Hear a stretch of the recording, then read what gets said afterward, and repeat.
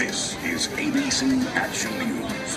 Thanks for joining us for this special edition of ABC Action News. I'm Dan Schaefer. And I'm Dee O'Reilly. Looks like there's trouble on the roads. Let's get right over to traffic reporter Lindsay Lowe.